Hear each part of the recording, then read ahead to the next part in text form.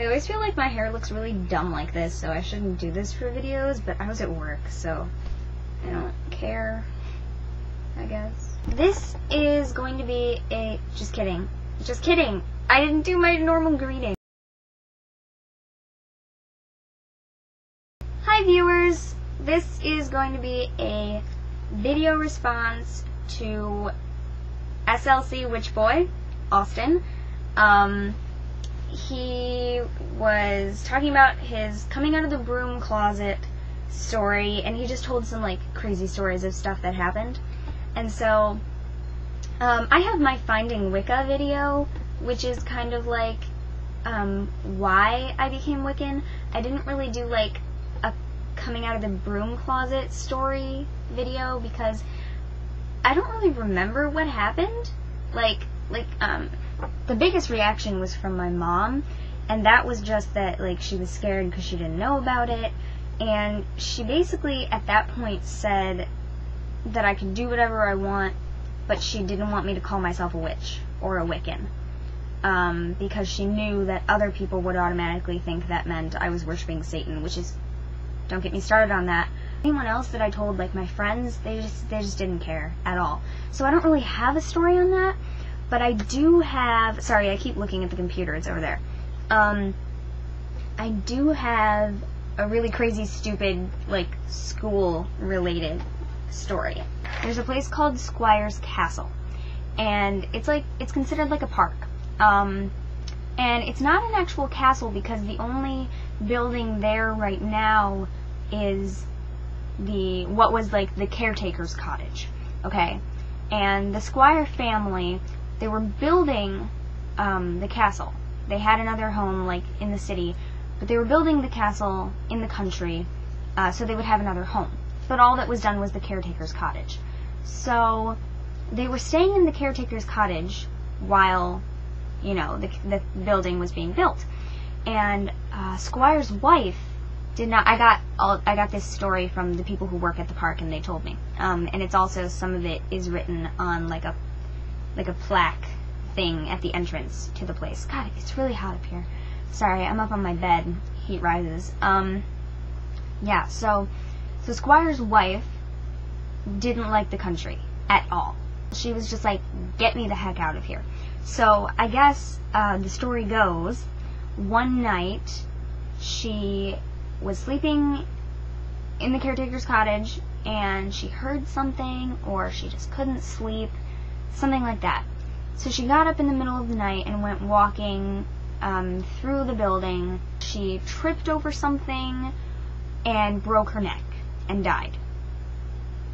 Allegedly, it's haunted. So I had been to this place a couple times in elementary school. Fifth, sixth grade ish. Um, my class, like the whole grade, went on a field trip. Uh, Squire's Castle was on the way, so we decided to stop there for our lunch break and I was like, yeah, awesome, you know, because I'd been there and I'm I'm really into the haunted stuff, so I was like, yes.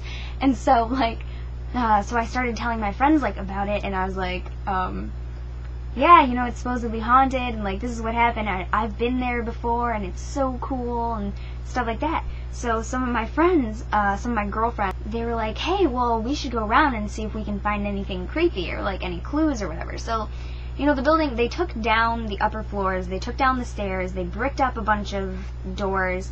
So it's, it's just a stone shell, pretty much. There's no ceiling, so you're allowed to walk through what's there. They've already removed anything they didn't want you to mess with. So we go walking around, you know, we're doing our thing. Anyways, I would have been like 11, 12 at this point. Um, we're all out on the playground. And I had this necklace that had two crystals on it and I used to use it for a pendulum. And so we wanted to like talk about, you know, the weird stuff that happened at Squire's Castle and whatever. So we were just having fun. We were sitting around and uh, you know, some of the girls were like asking my pendulum questions, like, was it really a ghost? And whatever, we're just being cool. And there was this other girl, I think her name was Amanda. And like, we didn't like her really, but we always tolerated her. So she was fine, but she had just really been on our case about the whole Squire's Castle thing. So like she came up to us on the playground and started saying stuff like we were crazy and we didn't know what we were talking about and nothing really happened because she didn't see anything. She didn't get it, so she was mad at us. Um, and uh, so we were like, well then just just don't hang out with us. Like it's not a problem. You know, whatever. If you're if you're just gonna tell us that it's not real, then just let us talk about it and go away. And so apparently she went and told the proctor, like the playground proctor, that we were witches and that we were casting a spell on her. And at that point, I wasn't even like telling anyone that I was studying Wicca, if I even was, because I haven't. Okay, let me count. Yeah, I was like 11 or 12. Um, at that point, I wasn't even like really studying Wicca, so I was like, heck no, I'm not a witch. And definitely none of the other girls were. So we were just like, what? But yeah, so this proctor comes over. And by that point, we had already stopped, and we weren't even sitting in the same place anymore. We were all gone our separate ways because recess was going to be over in like 15 minutes, so we wanted to play. So, the proctor, who's like a personal friend of mine, like I know her because um, everyone in the town knows everyone. Anyway, she comes up to me because she knows if I was named something serious, because I was a goody two shoes, not gonna lie. Um, so she comes up to me and she's like, she gets all up in my face and she's like, where's the witch game? And I'm like, Kathy, what are you talking about? And she's like, the witch game. I was told that you're playing a game and that you're witches and it's a witch game and it's not allowed in school, rah, rah, rah. And at this point, it's back on my neck, okay? It's a necklace. It's back on my neck, so it doesn't look like anything. She probably doesn't even know what a pendulum is. Like, wh- so I'm just like, I don't know what you're talking about. And she's like, Amanda said, blah, blah, blah. And I was like, we were just sitting around talking and Amanda got mad at us. That's all I know. I was not about to be like, yeah, we were playing with a pendulum because what if someone did come up to us and like say that it wasn't allowed or something? Like, I didn't know.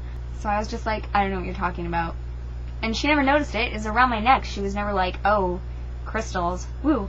And actually, I have them right here. I don't know if this is the same chain, but this is one of the crystals. I have to see if you can see it. This, um, when I got a hair wrap put in my hair years before that, uh, I had this put in at the end of it. And it's a quartz crystal. It's wrapped in silver wire. And uh, so after it fell out of my hair wrap, I put it on a chain. This might be the same chain, but now it's got another stone on it. And then the other stone, uh, the little thing like came off of it, so it's not on the chain anymore. But it's this, and it sits on my altar all the time. It's a little clear quartz point, single terminated. And yeah, this little, the little, the holder piece comes off of it. Basically, those two crystals right here on a necklace were my pendulum. And then I would take the little, uh, you know, the clasp part. Can you see that? Yeah, that. I would attach that to this so that when I held it at the other end um, by this crystal, this was the handle, when I held it, oh yeah, it would basically be like that with the other stone. Huh. Yeah, only it was this. But yeah, so that is like the stupidest school related, like I almost got in trouble for doing anything at all witchy story that I have. So, yeah, I just think it's hilarious and really retarded. So I hope you enjoyed that. I'm done now.